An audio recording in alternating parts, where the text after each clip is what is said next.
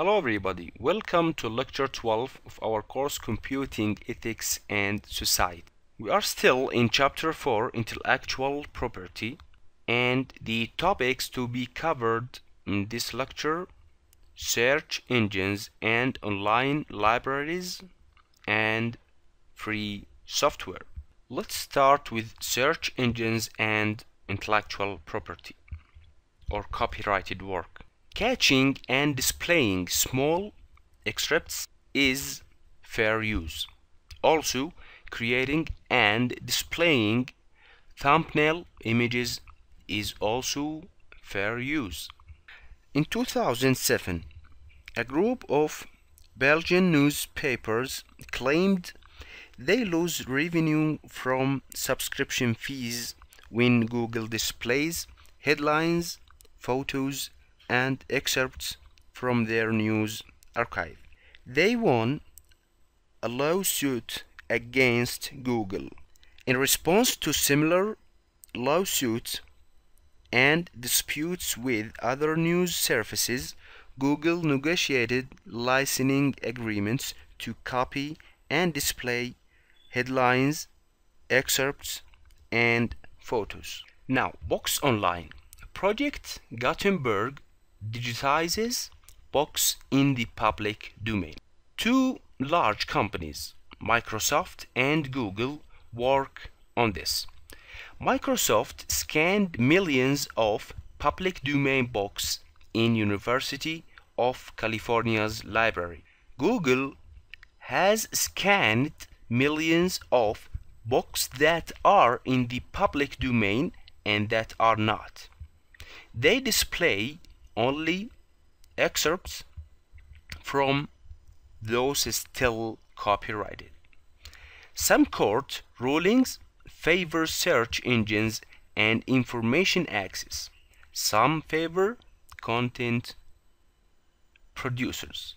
Tools for authorized sharing Creative Commons enables an author to specify permissions for the sharing. Now let's move to interesting topics that is software or free software. So what is free software?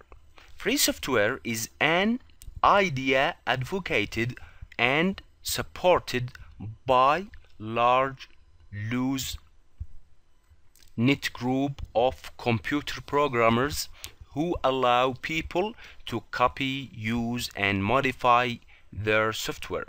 Free here means freedom of use, not necessarily lack of cost. Open source software is the software distributed or made uh, public in source code. That means the source code of this software is readable and modifiable. On the other hand, commercial softwares, which is often called proprietary software, is normally sold in object code. The code run by the computer but not intelligible to people. It's not modifiable by the end user. The source code is kept secret. Critics and some supporters of free software point out some of its weaknesses. Much free software is not easy for ordinary consumers to use. Often, there is no technical support number to call for help. Because anyone can modify free softwares, there are many versions and few standards creating a difficult and confusing environment for non-technical consumers and businesses. Here is an example. GNU project. This project begin with a Unix-like operating system. It's a, uh, it is a sophisticated text editor and and many compilers and utilities. Now, GNU has hundreds of programs freely available and thousands of software packages available as free software with modifiable source code. It's developed the concept of copyleft. Free software has many advantages.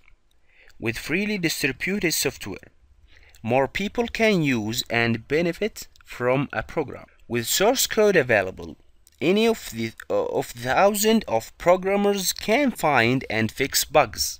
Users and programmers can adapt and improve programs.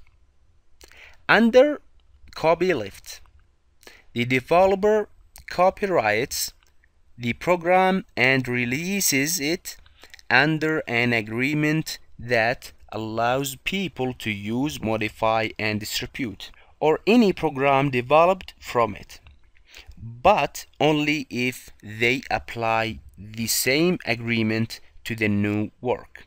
No one may develop a new program from a copy lefted program and add restrictions that limits use and free distribution. Courts have said a person can sue for an injunction against someone who uses copy-lefted software without following the open source licensing agreement. Free software is undoubtedly valuable, but does it provide sufficient incentives to produce the huge quantity of consumer software available now? How are free software developers paid? Programmers donate their work because they believe in the sharing ethic. Most programmers work for a salary, even if they write free software on their own time. Would the extra services for which a business could charge bring in enough revenue to support all software development? Richard Stallman believes that proprietary software, particularly the aspects that uh, prohibits people from making copies and changes in programs without the software publisher's approval, is ethically wrong. He argues that copying a program does not deprive the programmer or anyone else of use of the program. Uh, we reach to the end of this lecture and see you in next lecture. Goodbye.